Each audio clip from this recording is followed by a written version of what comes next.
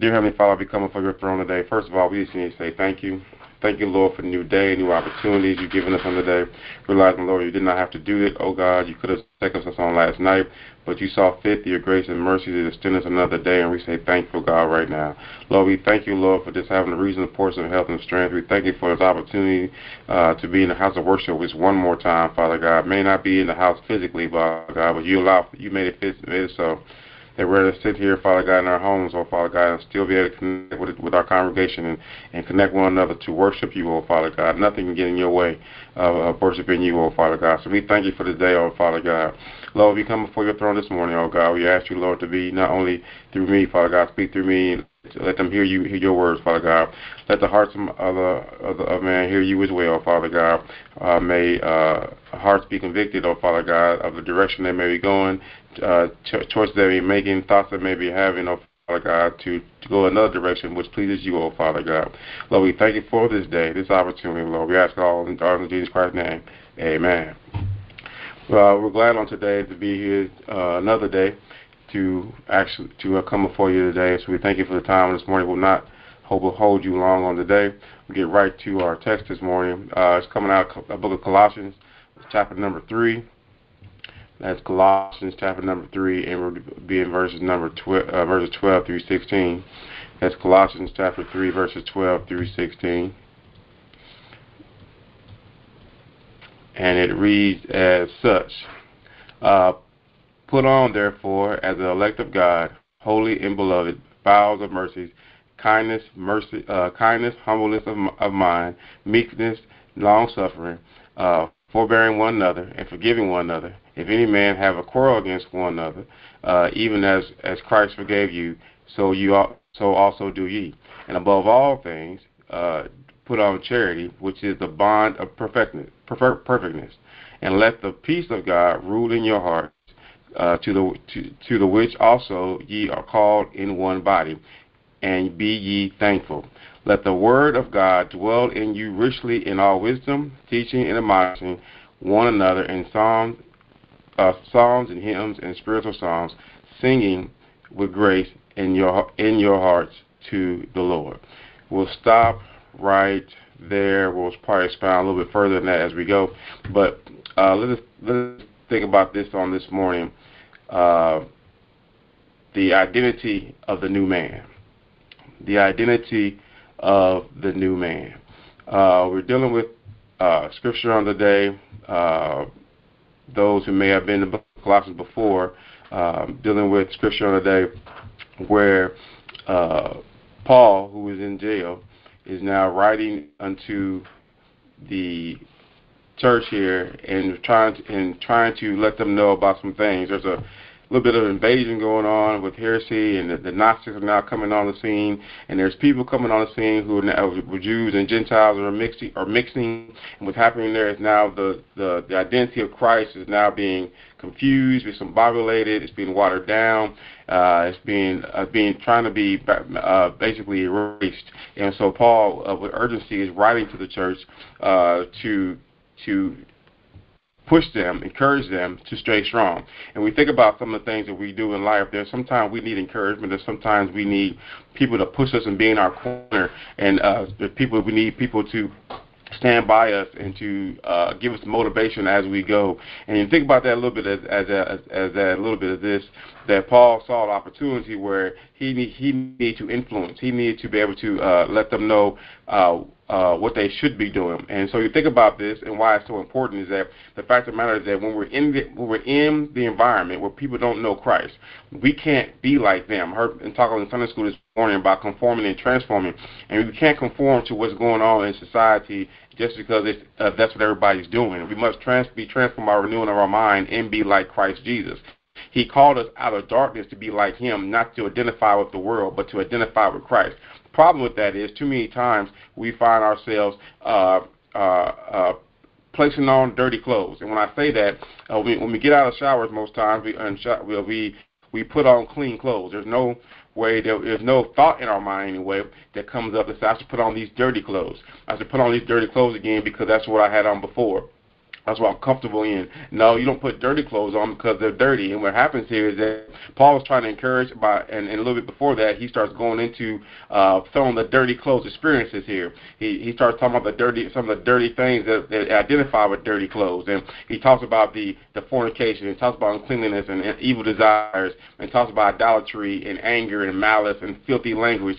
All these things identify with dirty clothes or the old man experience. And what Paul is trying to remind us is that we are no longer that old man. And what I, what I, mean by that is that we're no longer the person we was before we came to Christ.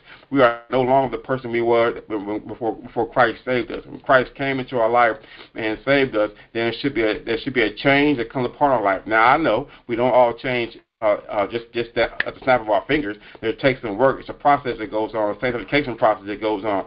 But we should be striving to be better. We should be striving to be different. We should be striving to identify with Christ. And by identifying with Christ, we're looking like Him, we're walking like Him, we're talking like Him. We should be the best example of Him in this big, wide world. We don't want to take on what the world has to offer. We don't want to take on what the world would have for us to do. We are saved, we are changed, we therefore we should act like it. And that's basically what Paul is trying to say here: is that you're a new person, you're a new identity. Now I need, I need you to act like it. I need you to be that person. It's not it's not it's not so much it's for me, it's for it's for Christ Jesus. He needs you to be to behave in a different way. He needs you to walk in a different way.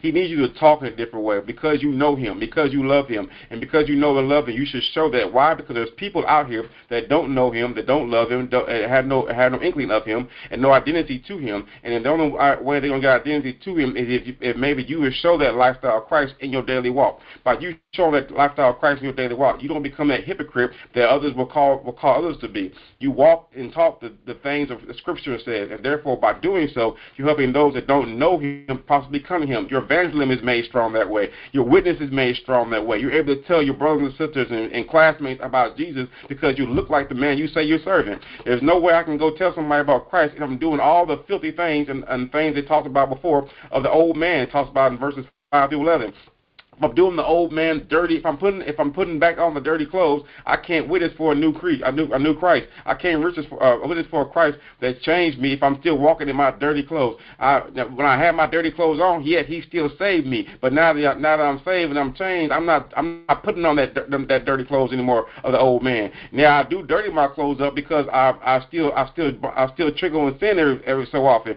But what happens is that because I know Christ now, He's able to clean me up. Because I know Christ now, He's able to wash me and, and cleanse me. But I'm, now I want to give that same Christ to somebody else. But the problem is that I can't do that if I'm if I'm continuing to behave in the same manner that I did before.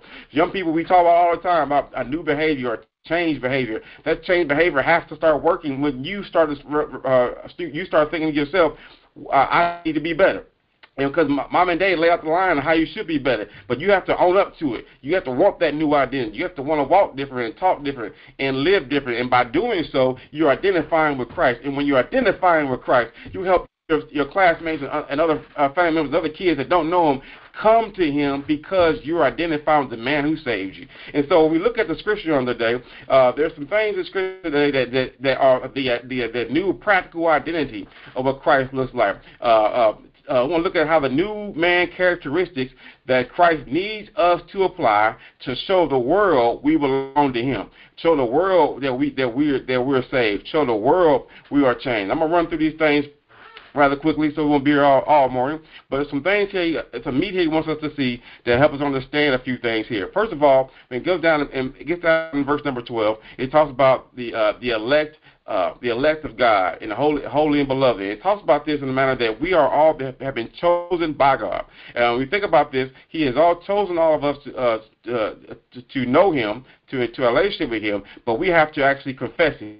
He, he's come to us and, and allowed us to be to be tapped by Him, to acknowledge Him and believe in Him, but we have to still confess in Him. But you think about how he, how He did that. He chose us uh, uh, before the foundation of the world even was created. When you think about what He did and how much He loved us, and how much He tapped into us, that even before you were created, for your parents were created, He still you still were the elect of God. You still were the chosen one of God. And because and because he did that, he he showed his love for us.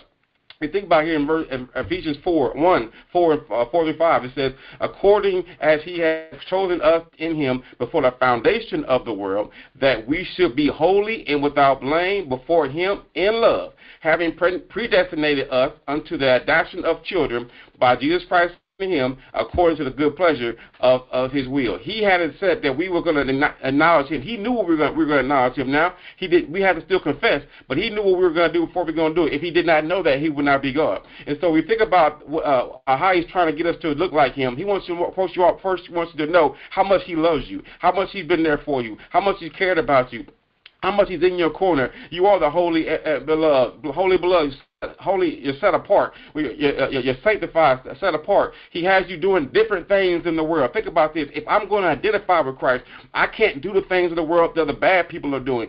If I'm be do the, if I'm identified with Christ, I can't be doing things in the world that the, the that the negative people are doing. I can't do things in the world that the criminals are doing. I can't do things in the world that people are do committing violence are doing. I have to be different. I have to be changed. I have to be set apart. I have to be sanctified, which means I'm trying to get rid of all the things that are in me that are bad, just and place them in things that are good if I'm do, by doing so, I, I, am I am I am transitioning myself to be look more like Jesus. But you can't do it unless you know Jesus. You can't do it by yourself. There's no way I can come and say, "Well, I've been a good person. I've been a, I have a good heart. I, I live a good life. I don't do nobody no wrong and not have Jesus in your life." You can't get into heaven that way. You have to identify with Christ. You have to confess Christ first, and by confessing Christ means you means that means it was uh that you that you believe in Christ Jesus, and because you believe in Christ Jesus, now you take on His identity because you are He is your now your example, and so because of that, uh, because of that, I am walking trying to be more like Him. Being more like Him is being holy, it's being set apart, it's, it's living a different lifestyle than those who do not know Him. I have the only way I can do that is if I in if I live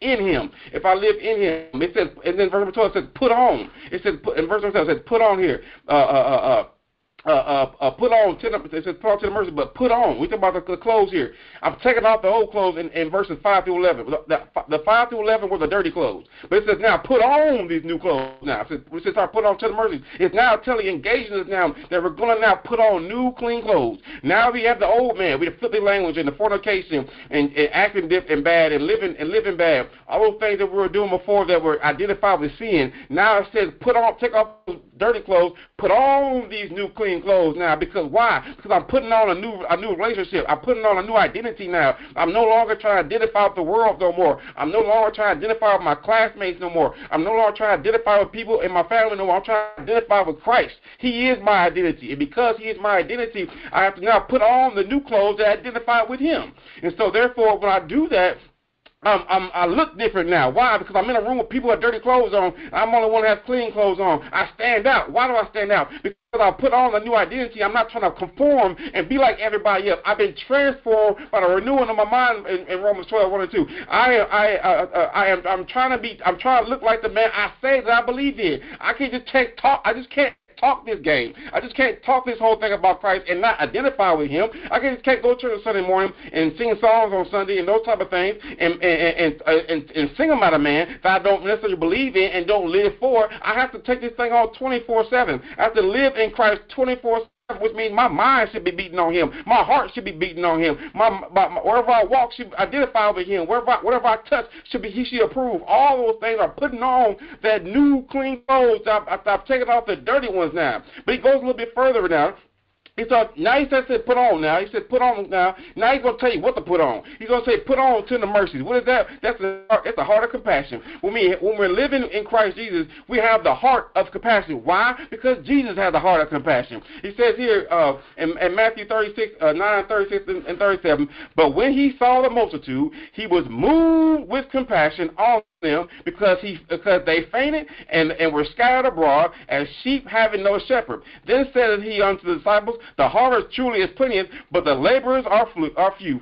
Pray ye therefore the laborers of the harvest that ye will send forth laborers into the harvest. He was had compassion on what was the situation, which means that only did he see what was going on, he did something about it. You can't have the compassion about some things if you just look at it and say, man, that man struggling for some food. I also hope he gets some. Or man, he uh, uh, she needs some clothes. I hope she finds some. Or he, he needs a he needs a uh, it's raining outside. It's an umbrella. Uh, he don't have no I hope he I hope he gets one. That's just identifying the situation. The compassion is I got I got to move every mountain to make sure he gets that umbrella. I got to move every mountain to make sure he gets a little bit of food. I got to move every mountain to make sure she gets some clothes. The, the compassion in my heart is like Jesus was. You see where I'm going? That we have to identify how Jesus was, and far too many times we identify what we want to do. We identify with ourselves, and young people, we can't necessarily we can't identify ourselves and still follow Christ.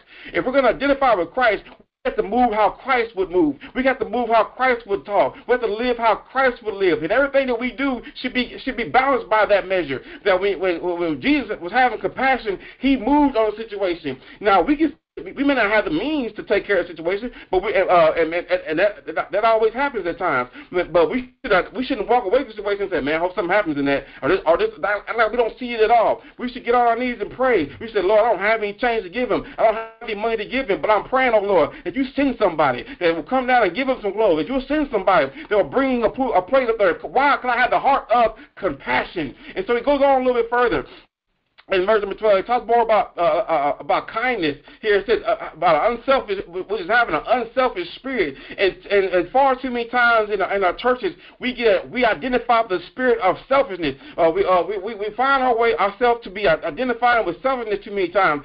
It's my me, myself, and I. This is what I want to do. We need. To, this is what we need to do. And, and this type of thing, we we we do. We move on what we want to do instead of moving on what the Spirit of the Lord wants us to do. And far too many times we find ourselves struggling too many times because we identify with our own path and our own plan. We identify the true master planner is Jesus. When we go back in Matthew 11, it says, it's 11, 28, and 29, "Come unto thee." all uh, ye that labor and are heavy laden, and I will give you rest.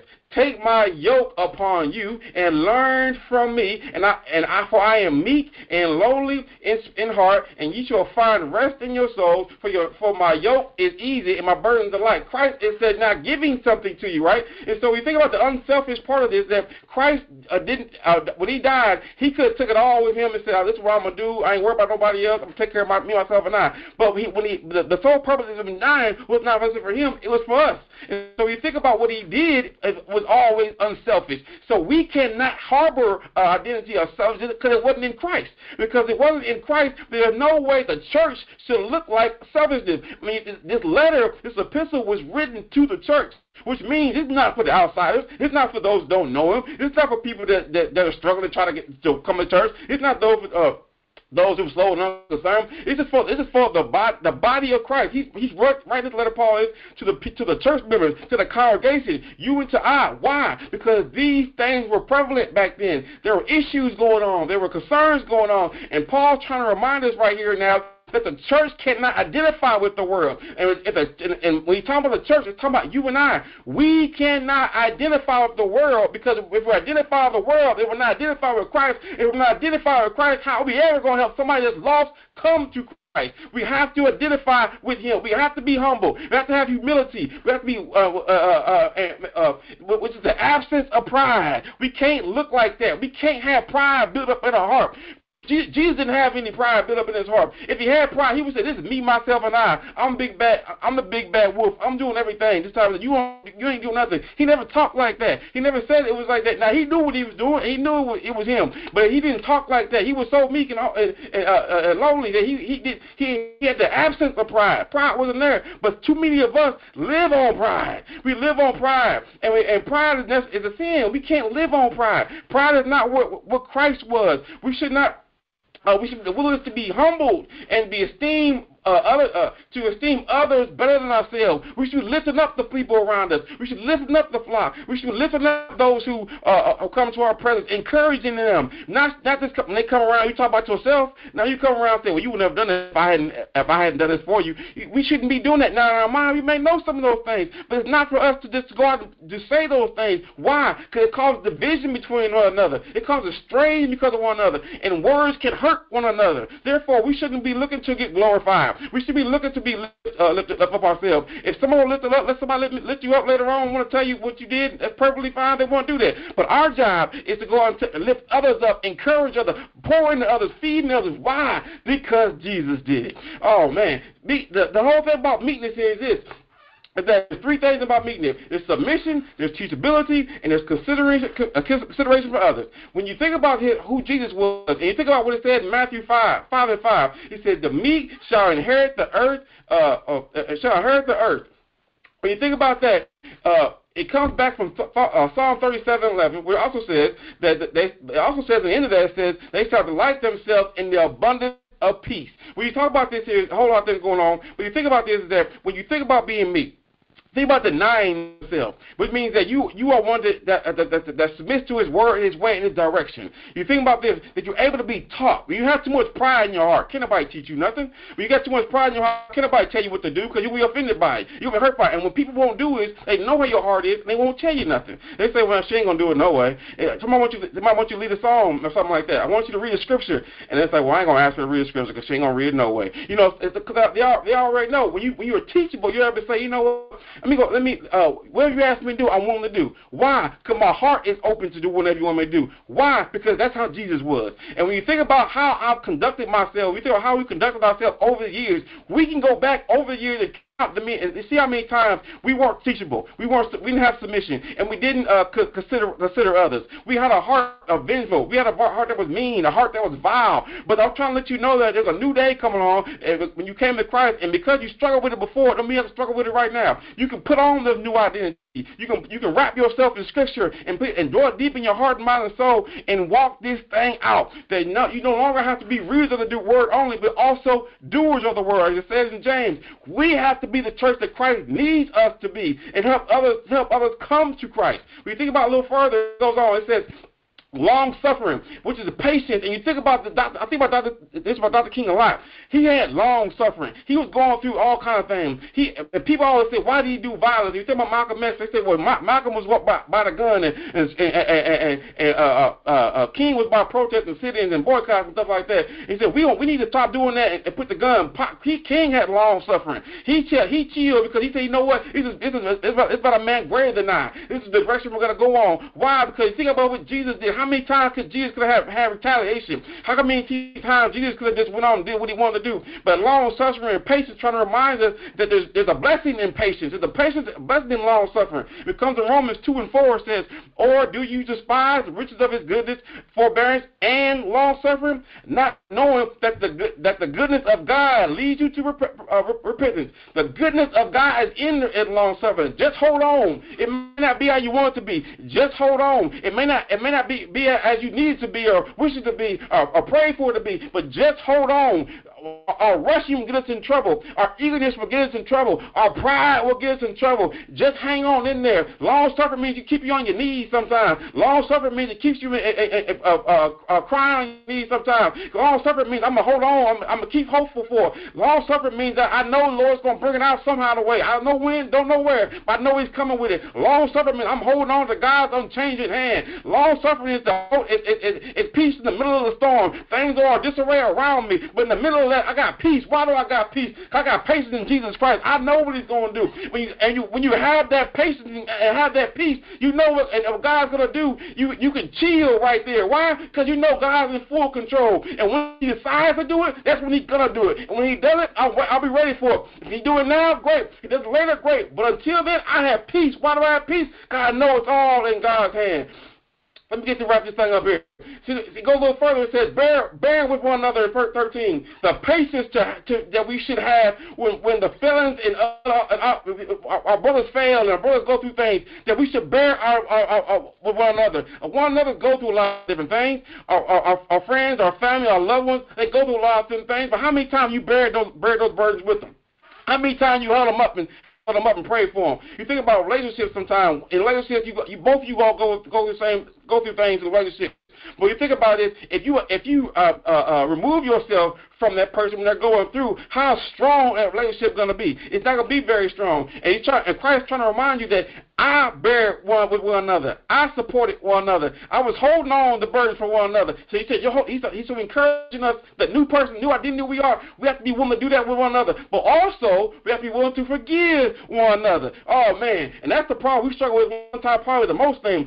So how many times we think about if we have we gotten to with somebody, how we uh, had an argument with somebody, and you never speak again. You, you had argument or, or, or, or fight with somebody, you haven't talked in years, and you and first thing you say is, "Well, that's on them. They ain't said nothing to me." Well, you think about it, that's not how Christ moved. You can't move like that. You say, "Well, let me let me go dead in this thing." You know, that's that's that's that's, that's sitting between me and God. I can't let this thing sit between me and God. I I need to go. Forg- I need to go get this thing straight. They may not ever forgive me, but I'm coming to the Lord. Uh, I'm gonna bury the hatchet right now. Why? Because that's that's our new identity. We can't hold that burden forever. We can't hold that. When we decide to do that, there comes those sins that we have in the closet we haven't repented for. We think about that.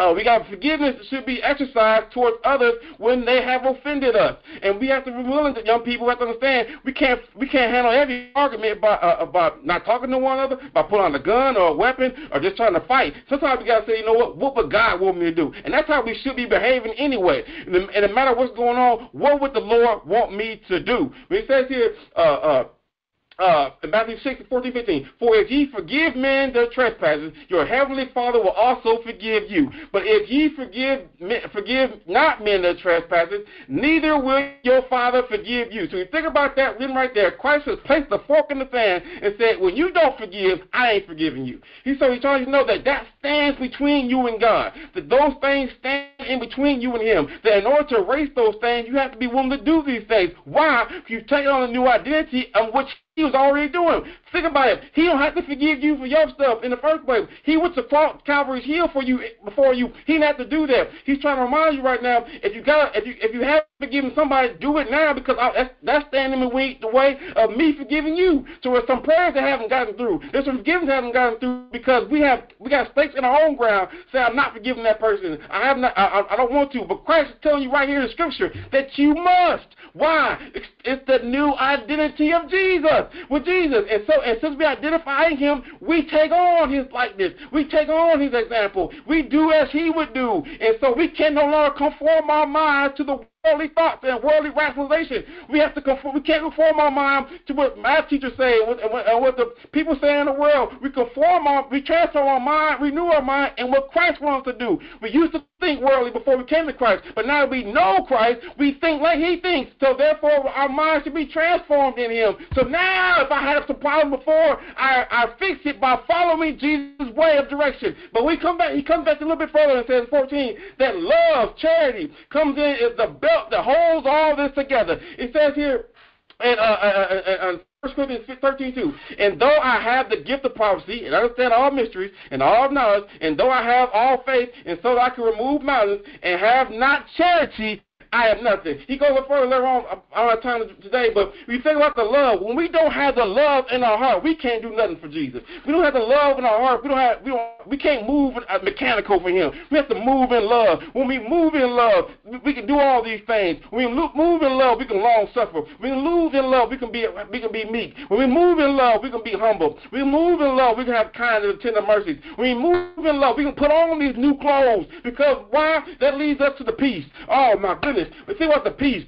Verse number 15, it says, and let the peace of God rule your hearts. When I think about this here, I think about a time when uh, I was I had a new job could apply for, and uh, they, they they called and offered me the job. Eight percent raise or something like that, and it was it was it was it was messing with my spirit. I remember calling Carol Lucas, and I called Carol. I said, Carol, I got this job offer here. I'm, I'm struggling with it. And she kept talking to me, and we prayed about it. And she said, go with a, go with your heart is moving you to go. I said, I don't know. I'm this, that, and the other. And then what happened was I prayed some more about it. I remember talking to Pastor after that, and Pastor was like, you know, it's faith and godly counsel. When I told him I talked to Carol, and, and we, we but he never told what they never told which way to go. And so I prayed about it, prayed about it. And then when I called the people and told them, you know what, I'm not taking the job. You don't know what the peace that came over my body. I, my body was calm. The anger, the angst went away. The the the the the, the, the hippiness, in my heart and the pity part of my heart went away was a peace. And I remember calling Carol. I said, Carol, I got so much peace in my mind now. I got some peace in my heart. And then Pastor told me, yeah, that must have been the right thing to do because why? Because I followed the will and the way of the Lord, I could have picked that uh, when God when after that job and picked it because it had it had more money. But that wasn't what the Lord wanted me to do. He said, stay where you are, and I stayed put and have patience, right? And because I had patience, He gave me that peace, and I had so much peace. And when, and when the man that I turned the job down saw me, he couldn't even look at me in the face because he was mad that I turned down the job. But I walked by by high. Why? I had the whole peace because I know what God was telling me to do. And so when I think about that, I, I, I know I'm been tried by fire. I know I'm I've tried His word by His word. I know I've tried His in His way. And He said, just prove me by just trying me. And I did that this right now. So I know about that peace when it comes in because when the peace came in, it cooled my body. Uh, the, the hotness went away. The sweating went away. All because I I gave into the will and the way. I said, Lord, you ushered this wherever you want to do. And He was trying to tell me what to do without telling people what to do. He, he gave me godly counsel, but they never told me what to do. He told me to follow me. And, and what's on my heart, He said, some just say, say no. And when I said no, all the, the, my body is calmed down. I sat in that chair. I go to my daily business and not worry about nobody saying. People mad at me because I turned it down, but I had peace. And because I had peace, I was like, I said, Lord, thank you. And I and it was some some years later that the Lord blessed me for the opportunities I walk into now that I'm doing what I want to do. But I, but I, I held on with patience and long suffering. But also to remind us that uh, uh, uh, that we should also uh, uh, the, uh, which also said we are called into one body in 15. It says, uh, it says so we also called in one body and be thankful. We, we write this thing up here. That when we're called into one body, we, a lot of times we think about we can we church at home, we can do what we want to do everywhere else.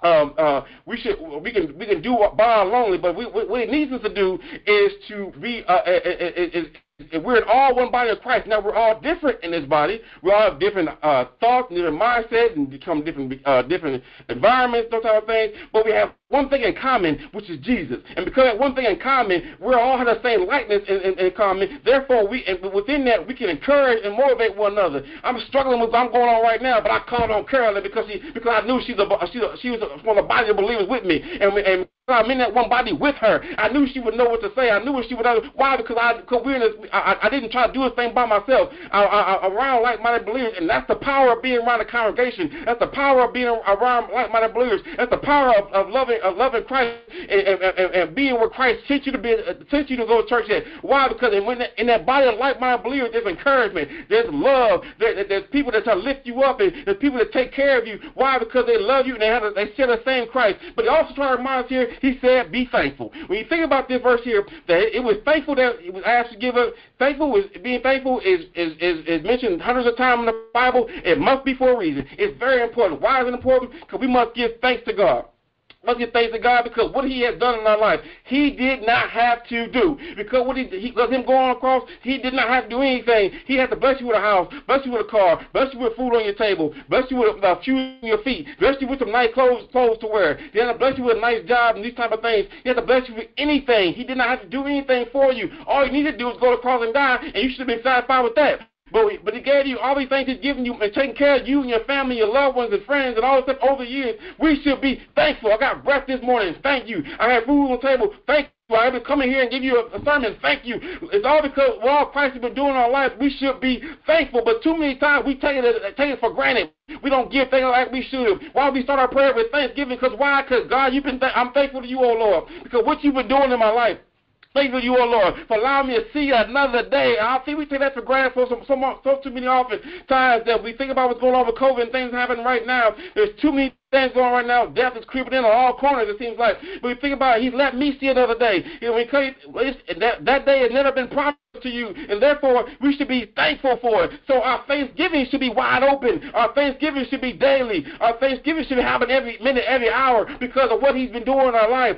So we, when we think about what he's doing, we should always be thankful. Let the word of Christ dwell in you richly. With wisdom, teaching, and mindset. We think about that. The word of Christ should be tattooed in your heart. The word of Christ should be wherever you go. Everywhere you go. Everywhere you go, young people, school, home, work, wherever it may be, it should be on you. Why? Because the devil sends people around you trying to bring you down. The devil sends people around you trying to swallow you up. The devil brings people around you trying to steal your joy away. He's trying to remind you if you just walk with this word in your heart, in your mind and soul, and wherever you go, make sure you lift up Jesus. And wherever you go, wherever you do, you think, will Jesus let me do this? Will Jesus be cool if I do this? Will, will, is any praise I do? Any, any praise for Christ if I do this? Will Christ be pleased by this? And you think like that, and walk like that, and live like that, then you're you're walking in that new identity with Christ, and He is pleased by that. But when you walk around this word Sorry about yourself. Do what you want to do. Say what you want to say. Go where you want to go. And don't ever communicate with him. He's not pleased with that at all. He wants us to identify with him, not just on Sunday. Not just on Wednesday, not just on choir rehearsal, not just when the mission meets, not just when the land meets, but every day of the week, every hour of the week. He wants us to identify with the risen Savior because if we identify with the risen Savior, it helps somebody don't know for the part of their sins come to Christ and say, Why are you so different? Why are you so changed? What happened to you? You used to be different before. You used to cuss all the time. You used to talk crazy all the time. You, you talk about people all the time. You don't do it no more. What happened? What changed? I tell you why I changed. Because I met a man named Jesus. When I met this man named Jesus, he, made, he came over my life and changed me. So that's what we got to be. We have, and you, you, you, and you look at me and say, where is, where do I find this example? I will tell you, just look up, young people. Where do I find my example? Just look up. Because it says in Psalms 121, and I will lift my eyes unto the hills will cometh my help. He said, just look up. In Matthew 19, 24 and 26 says, and again I say unto you, is, is it easy for a camel to, uh, to go through uh, the eye of a needle, for, for uh, than for a rich man to enter in the kingdom of God? When the disciples heard it, they were exceedingly amazed, saying, who then can be saved? But Jesus said unto them, and said, uh, said unto them, with man this is impossible impossible, but with God all things are possible. In Proverbs 3 and 5 it says, Trust in the Lord with all your heart and lean not to your own understanding. In Hebrews 12 and 2 it says, Looking unto Jesus, the author and finisher of our faith. This Jesus walked up a hill called Calvary, bearing the sins on his shoulders, a cross on his back. When he got to that hill, they nailed him to the cross, raised him up for all the world to see. Uh, uh, but, the, but Scripture reminds us in John 12, 32, and I, if I be lifted up from the earth, I will draw all men unto me. Blood came streaming down. Within that blood was your sins and my sins. He gave his life up on the cross. They buried him, hoping it was it was all said and done. But early one Sunday morning, he rose from the grave. 1 Corinthians 15, uh, 55 says, O death, where is thy sting? O grave, where is thy victory? Because he rose, because uh, uh, he defeated death uh, uh, uh, he is our he is our example. He is our waymaker. He is an everlasting Father. He is our prime example to get through this whole thing called life. If we just take on the full identity of Jesus Christ. Amen. It might be one this morning. Ooh, Lord. It might be one this morning that wants to take on this new identity of Jesus who's ready to take off the dirty clothes of the world, who's ready to take off the dirty clothes of, of, of, the, of the old man and ready to walk in a new identity with Jesus, to put on new clean clothes, and to be identified with the Master Jesus Christ. There might be one this morning through this line, through this chat, through the virtual that may say, oh, it's time for me to come to Christ. There might be one of those this morning. The doors of the church are open at this time. Mm, mm, mm. What can wash away my sin? Nothing but the blood of Jesus. What can make me whole again? Nothing but the blood of Jesus. Oh, precious is the flow that makes me white as snow. No other fount I know, nothing but the blood of Jesus. Oh,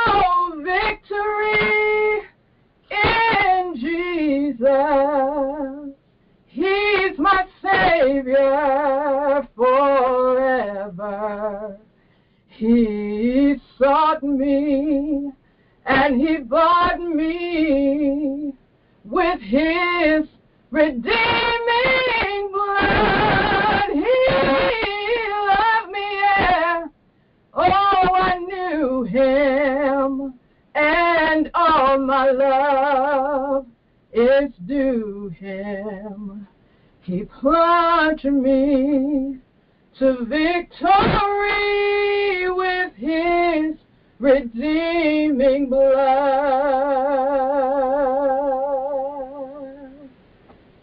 Amen. Thank you for that selection. uh, realizing there might be someone on the line this morning uh, that may want to give a life to Christ or may want to have a conversation about that. Uh, our pastor has been uh, open to you calling him on his phone and be able to have a conversation about your relationship with Christ. If there is one this morning that wants to converse with him, his number is 816 509 1247. If there's anyone this morning that wants to converse with me, uh, I'm available as well. 816 616 9168. We can converse about your relationship with Jesus Christ. But it could be someone here this morning who does not have a relationship with Christ, does not have a may have a relationship with Christ, but they have a church home though. Uh, you may not you may not have a church home, but the way it's, way it's so fit is that you don't have to be at the church here necessarily to be um, uh, become uh, join a join the church. Lord said fit that we can even accept your membership on there, and so we have the virtual opportunity to do that. But it might be someone also this morning that might be struggling with something in this thing called life. Realize we put on the the old man uh, tries to do things to us at times. And even in this new identity in Christ, we do struggle with things. You might need some prayer. We're, our prayer lines are available as well. So we want to make sure we are better minister to your needs on this morning and realize and open that if you have uh, want to respond in any kind of way, then we are available to receive that. So at this time, we thank you for your uh, you're hearing us on this morning. We hope the Word of God uh, convicts your heart, mind, and soul. You may be changed.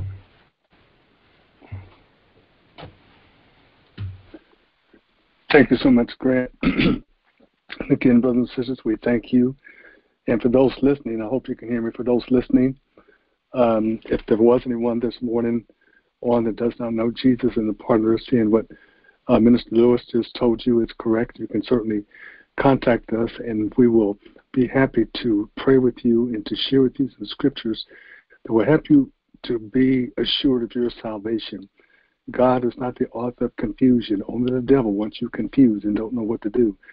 And so the way that we eliminate the devil's confusion is by the promises that God gives in his word. And he said, Whosoever shall call upon the name of the Lord shall be saved. Brother or sister, that includes you. Because there isn't any soul that's ever been born on this earth, or no soul that ever will be born upon this earth, that God doesn't know in totality already. And so, if you don't know him, this invitation is for you. I want to again thank each of you this morning for your uh, participation. And just before we call Minister Lewis back to give us the final remarks and the benediction, I do want to ask you to add someone else to the prayer list that I failed to mention earlier. Uh, I don't have the um, name of the family, but there's a family that lives right down the street from the church that we have been involved in helping somewhat, uh, a little bit from time to time, and some of them, I think one of the granddaughters uh, actually united with the church. Please be in prayer for this family because we understand that they also have had a loss uh, in their uh, family. Uh, we don't have, at least I don't have it before me. I think it's been sent, but I don't have it before me. The um, services, but uh, some of you who have been working with this family know who I'm speaking of. So please be in prayer for that family. And then just remind you that we'll be back to our normal schedule of things this coming week. Uh, Tuesday, we will continue our chat with the pastor. We'll continue to talk about the things that we have outlined, um, looking for all our young people, anyone else that want to be involved. We invite you this time, 7 o'clock on Tuesday for one hour. And then uh, we'll be back to our regular Bible study and prayer on Wednesday Lord says the same also at 7 o'clock. And then next Friday at 7 o'clock is our church business meeting. Thank you so much, brothers and sisters. Let's continue to pray one for the other. If you have to move around this city, please be careful, be mindful, uh, and and um, um, uh, let's just follow the rules that the um, um the doctors and and the other officials of the medical field are telling us to help keep us safe. So please be careful as you move about. This time we're back into the hands of Reverend Lewis. Uh, thank you, Pastor. Uh, once again, I thank Pastor for the opportunity on this morning. Uh, I do pray that through today's message, that uh, our hearts, even starting with mine, are, are convicted, are changed, uh, that we consider and think about more of what we do and how we live, how we walk, and how we talk, more to make sure we're more identified with our Lord and Savior Jesus Christ. Uh, it's for the, it's for the kingdom. We, we do this for, and we thank God for his for Him doing what He did for us. And because of that, we continue to work for Him for kingdom building. So this time we'll, we'll, we'll bow for prayer. Dear Heavenly Father God, we thank you for this opportunity on the day. Lord, we do pray that the heart, the Lord, the word of the Lord will be in our hearts as we leave this place, oh God, not leave and not leave from us, oh Lord. That may be rest on our heart, mind, and soul. That wherever we do, oh Father God, we can give consideration to you, Father God, before we do, before we say, before we think things, oh God, that we can give consideration to you, that you will be with us wholly Father God, enriched in our hearts, mind, and soul, that we are identified with the Christ that you are, Father God, in our daily living, oh Lord. And Lord, we're thankful for you dying on the cross for our sins, oh God. We thank you for um, for us uh, for for your salvation, oh Father God. And Lord, we just want to do better by you, oh God, because we know you. Uh, is now we said now unto, now unto the King eternal, immortal, visible, wise God, honor and glory forever and ever. And all the church did say, Amen. Amen. Amen. Amen.